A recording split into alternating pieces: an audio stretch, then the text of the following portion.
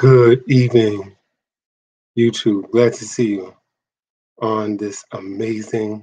Glad to be back. Glad to be doing my 26th YouTube live on this awesome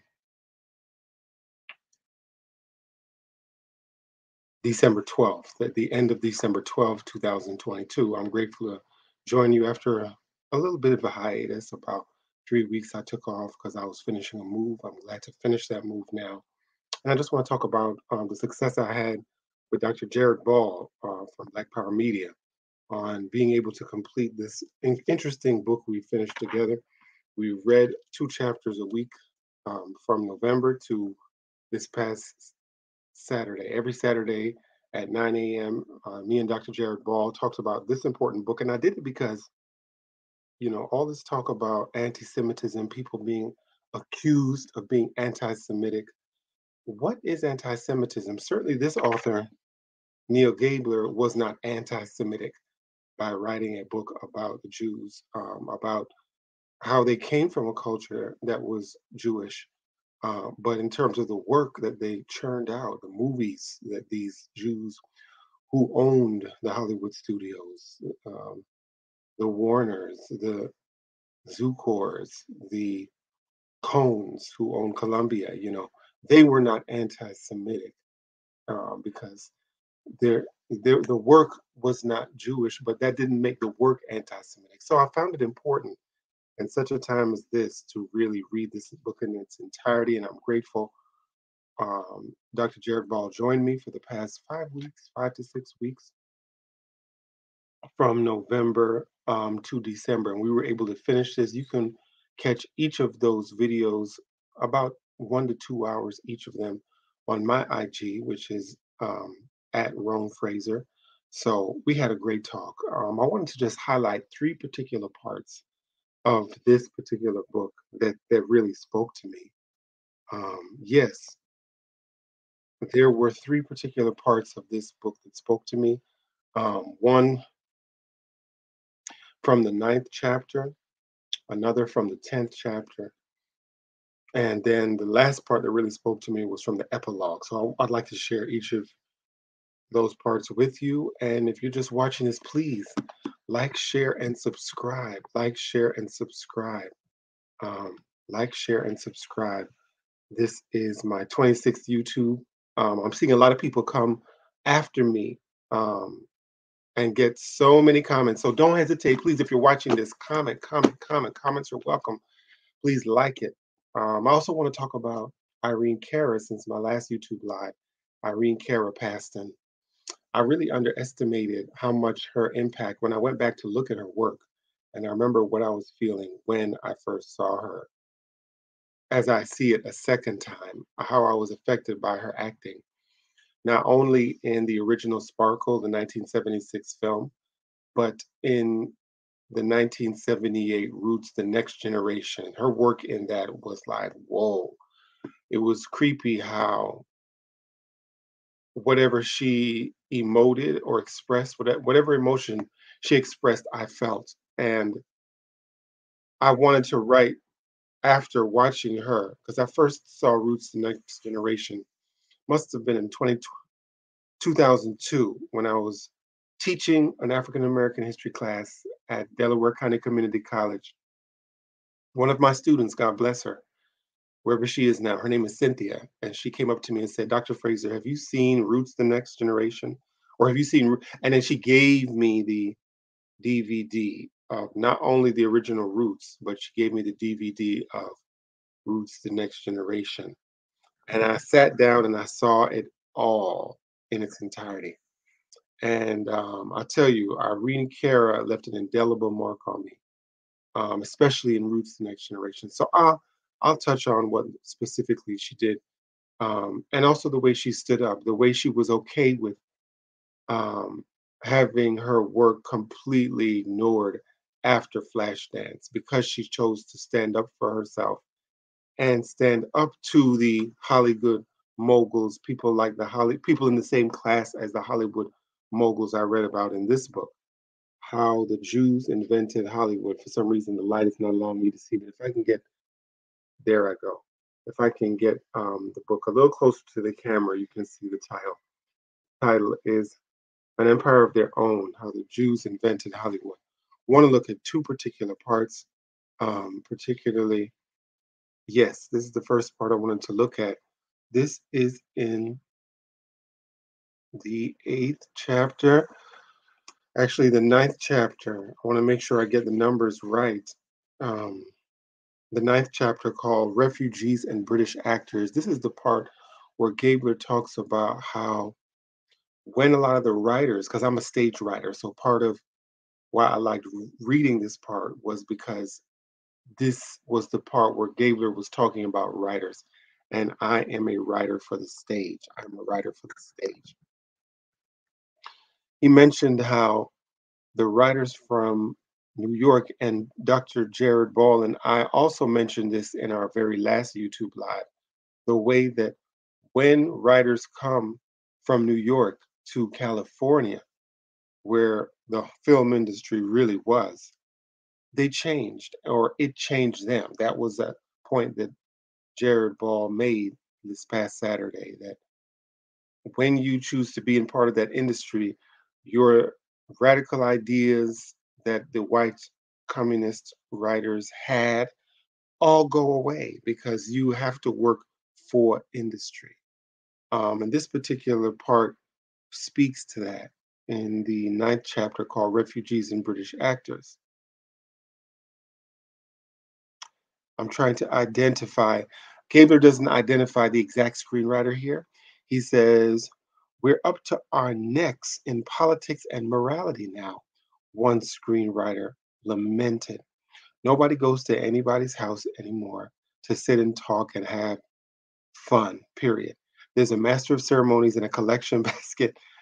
There are no gatherings now except for a good cause. We have almost no time to be actors and writers these days. We're committee members and collectors and organizers and audiences for orators. Writing in the New Republic, Ella Winter concurred. There is hardly a tea party today or a cocktail gathering, um, a studio lunch table, or dinner, even at a producer's house, at which you do not hear agitated dictation, uh, decision, talk of freedom and suppression, talk of tyranny and the constitution of war, of world economy and political theory. And so that's how um, Hollywood can write the joy out of you. Hollywood can change you as a writer and make you lose the joy because it's so focused on the formula. And Gabler absolutely conveyed that. So that was absolutely. I recommend this book.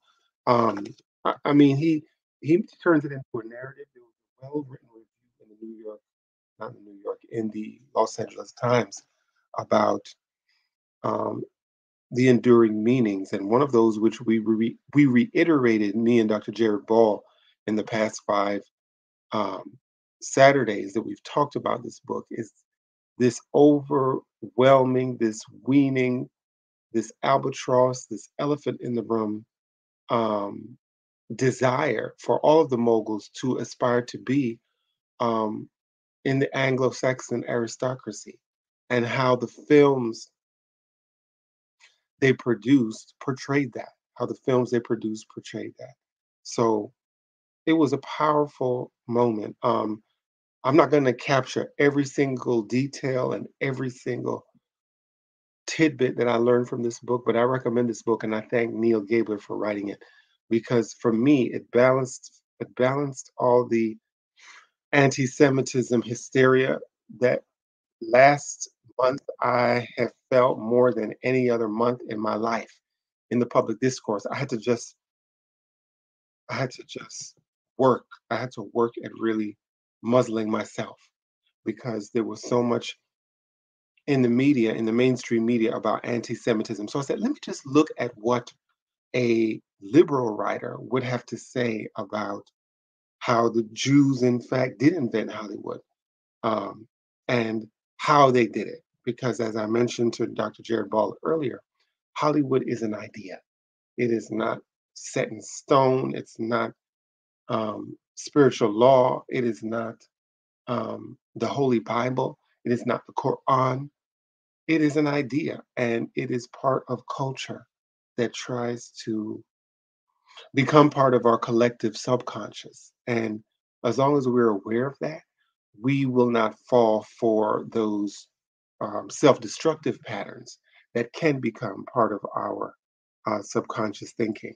So, again, I thank Dr. Jared Ball for joining me over the past six weeks on this amazing. I'm very proud to have done this with him on these uh, amazing book discussion we had Saturdays at 9 a.m. Um, second section of the book, before I completely leave it, is in the oh yes, the end of the ninth chapter.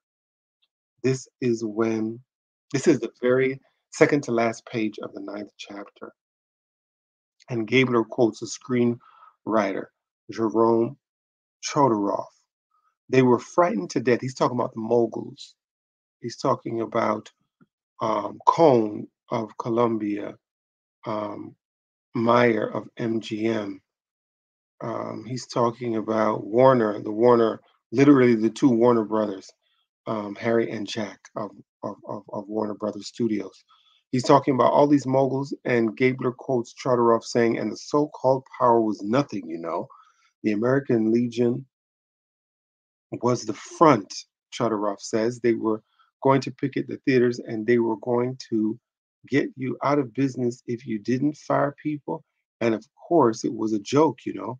The American Legion would have sent up one picket line for an hour, and that would have been the end of that.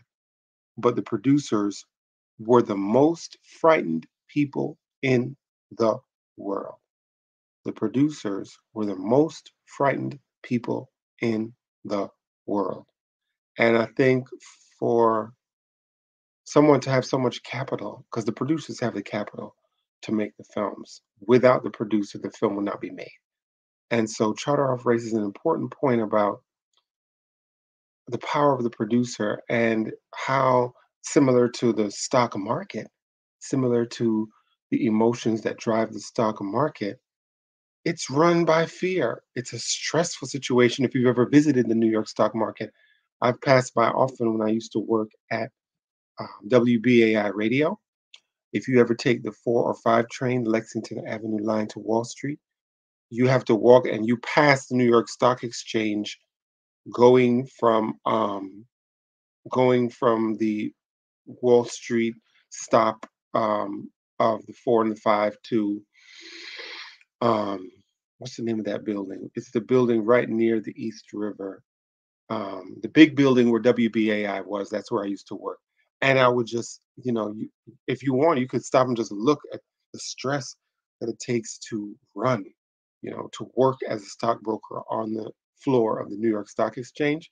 That kind of feeling of being frightened is exactly what um, Gabler quotes Chodorov feeling. The producers were the most frightened people in the world, he writes. If you're watching my YouTube live, this is my 26th one, welcome back.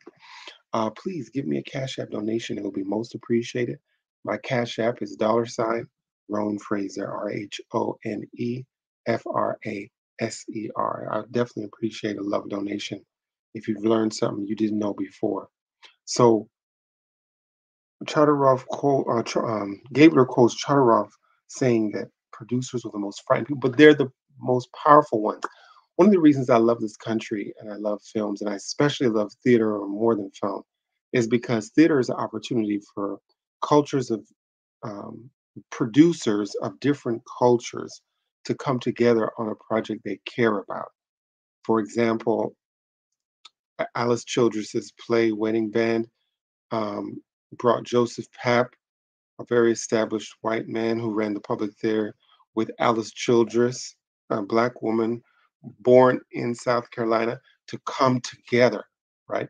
And then theater also brought Woody King Jr., born in Michigan, um, and worked odd jobs, but because he believed in theater, he believed in theater, and who also believed in theater is Joseph Papp.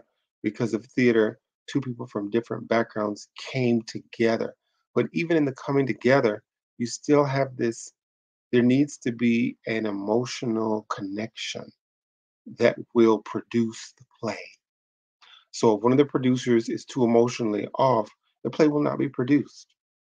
Um, and that emotion must be at such a level that is driven by their belief in the message of the play. They really have to not just say, "Oh, I'm doing this play because it's making money, and I see it's making money." It, has to be deeper. And so Gabler makes this point here. They're the most frightened people in the world, made really by a a screenwriter. The writer is saying, the writer is saying the producers are very fragile people. And as a writer, when you have a message in your play, you have to make sure the producer does not compromise that message. You have to make sure the producer that does not compromise that message. And shout out to Neal Gabler for conveying the messages of particular plays, namely The Jazz Singer, um, namely uh, Checkout, namely Citizen Kane. Um, there were some films that he described their adaptation to the film from the stage in such a way where you, as the reader, understood the importance of keeping the message, the importance of the film genre to keep the original message of the play. Um, I recently saw the film version of Leslie Lee's play, The First Breeze of Summer, that was performed on stage. And it was the scene where Lucretia, uh, who's based on Leslie Lee's actual grandmother, um, tells um, one of the fathers of her children, um, her white father, that um, she won't be able to see him again when he basically explains to her why he has to leave. And the film conveyed that very strong emotion that I felt when I saw the staged version. The same emotion I felt when I saw the staged version um, is what I felt when I saw the film version, thanks to powerful acting. The stage version was with Yaya DaCosta, and then uh,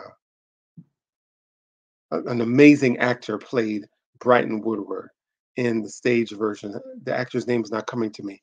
The film actor who played Brighton Woodward is Anthony Mackie, and he was absolutely amazing. And I remember that that very strong emotion I felt watching the film. I got um, also watching the play. I saw the play in 2008, uh, The First Breeze of Summer, with my aunt Iona, and I was moved. And and and it was like the universe was just guiding me because literally, like within a year after seeing the play on stage, I walked into the drama bookshop that was then on 40th Street and 8th Avenue, and I saw a flyer from the Negro Ensemble Company um, advertising a playwriting workshop directed by Leslie Lee. And I was like, oh, I'm going. And that's how I started going. And I finished my third play there. Um, and I'm, I'm, I'm appreciative for the work of Leslie Lee.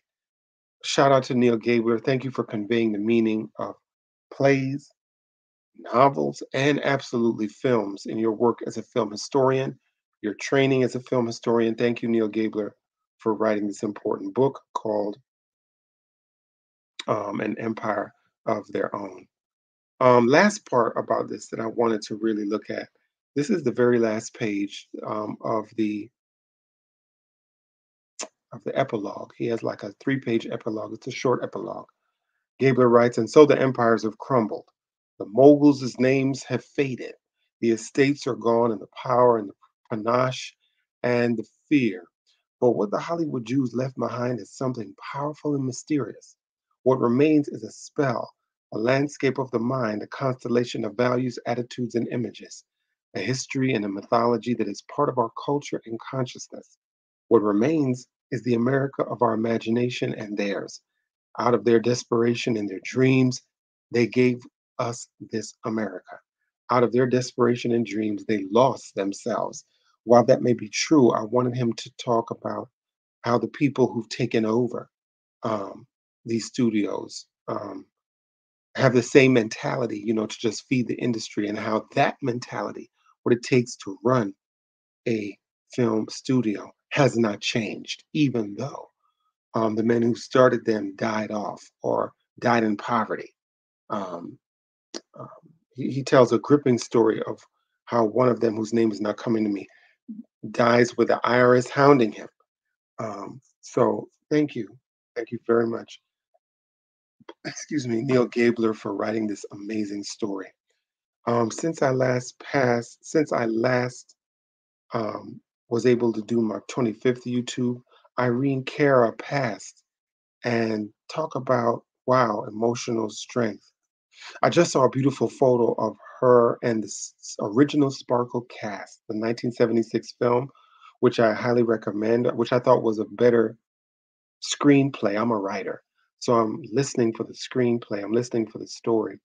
The story of Sparkle, the 76 Sparkle, is much stronger than the more updated Sparkle with Jordin Sparks and Whitney Houston because that original Sparkle with Irene Cara as Sparkle um, gave more agency to the artist and to the manager, where the manager was really looking out for the artist. You know, um, now in, in the in the version where Derek Luke plays the um, the manager that was originally played by uh, Philip Michael Thomas in the '76 film, the way that the manager role is written in the remake is so Berry Gordy, instant Berry Gordy. And I was like, this is not realistic. So non-realistic. The 76 was written so like, wow. Joel Schumacher, I noticed according to Wikipedia, uh, wrote the screenplay for that original one. Oh my gosh, her performance shines, but nowhere does Irene Cara's performance shine and affect me emotionally like it did in Roots: The Next Generation. I don't know what it was about her on-screen chemistry because Dorian Hare- Harewood uh, plays the boyfriend in the Sparkle film of Sparkle's older sister, um, who's abusive. But in Roots: The Next Generation, he plays Alex Haley's father and Irene Cara plays Alex Haley's mother, Bertha. What a performance! I just put on one of the few I hadn't posted in a long time, but one of the few things I did post was that scene that mm, moves me emotionally, sexually between Irene Cara and Dorian Harewood when he's going off to fight in World War One, and that kind of chemistry is like wow because it reminded me of watching a wedding band uh, on stage at the Theater for a New Audience in Brooklyn, New York in April. No, in May, I saw that stage production. And the actors were just, I know it was post quarantining, but it was just, there was no physical chemistry. When I saw this again, I was like, I was blown away by the strong physical chemistry between Dorian Harewood, uh, who plays Sam Haley, and Irene Cara, who played Bertha Haley, Alex Haley's mother. And what a performance. Um, Irene Cara has a hold on my soul. Um, not only am I sexually attracted to her, she's gorgeous, but there's something about her emotions that just want makes me, I don't know if it's the masculine instinct in me. I just want to comfort her. And I'm like, babe, you can't feel bad. Okay, babe, I want to, you just want to, for me, when I see Irene Cara, I want to meet her needs. I want to like, what can I do for you, babe? I'm sorry, babe. I, I don't want you to feel bad, babe. Are you okay, babe? I want to say babe, like after, because that's how she performed the role of Bertha Haley, like somebody who's in need to be seen, who needs to be seen, felt, heard, protected. And uh, she, she made me want to do that.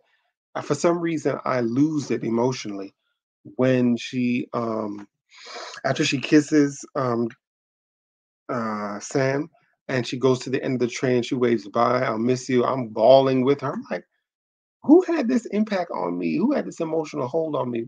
Probably nobody except Cynthia Erivo when she did Harriet had that kind of emotional hold on me that Irene Cara. Irene, Irene Cara had a hold on me.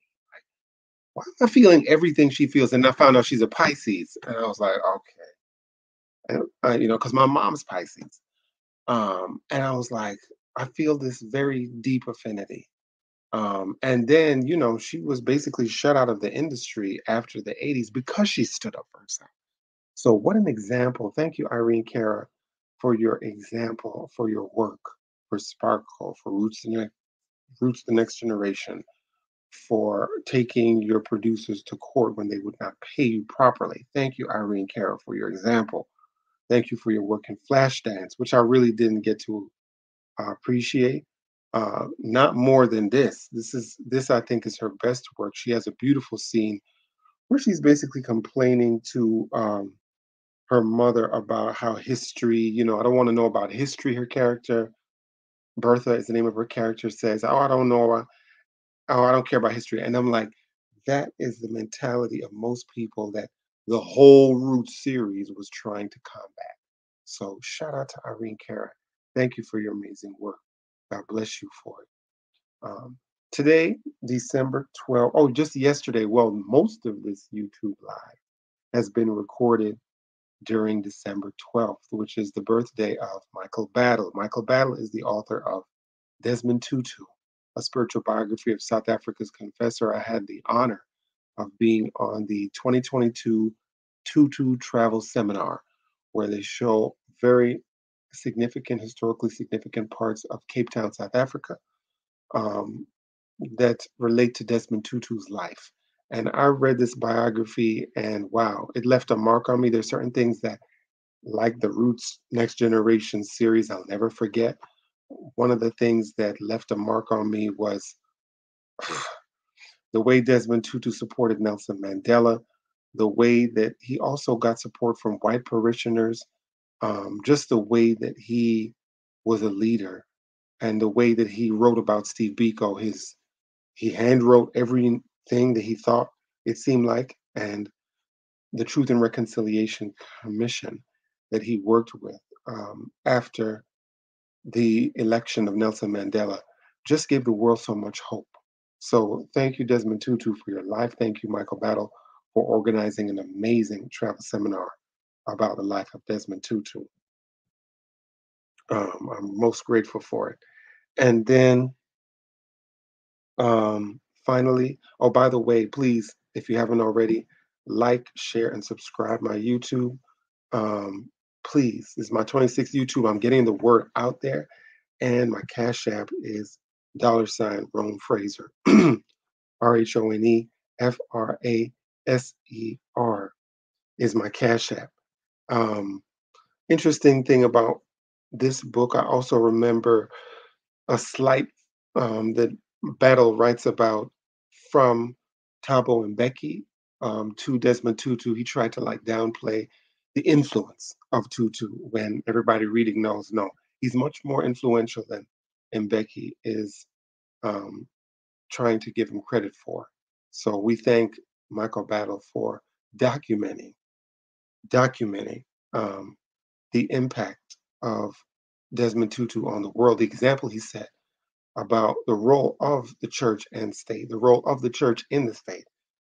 The church is pushing the state to be responsible and to serve the people is the role of the church that Michael Battle writes um, in, in, in his biography. I highly recommend his biography.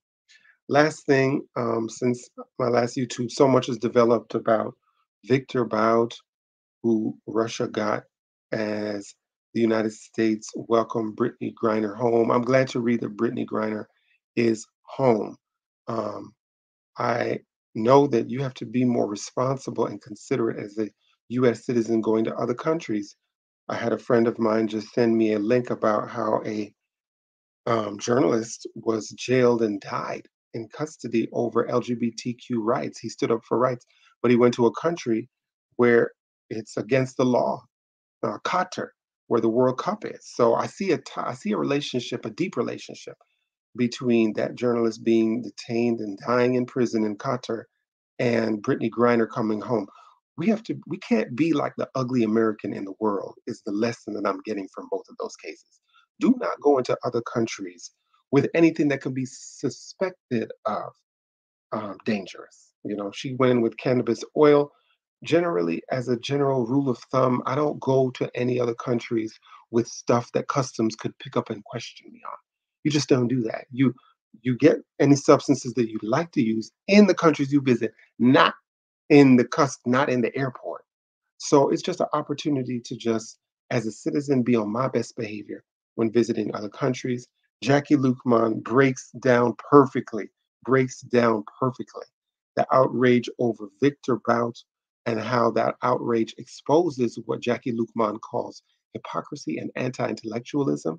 She makes an incredible point that I want to read where she says, You have heat for Victor Bout, um, Victor Bout, but you don't, don't have as much heat for the US government that is creating the conflicts that cause people like uh, Victor Bout to come up and, and to sell arms because the US is the number one arms dealer in the world. So thank you, Jackie Luqman, for pointing that out. Make sure you check out her Black Power Media um, work. And this concludes my 26 YouTube. Please subscribe, like, and share. Keep reading and keep the faith.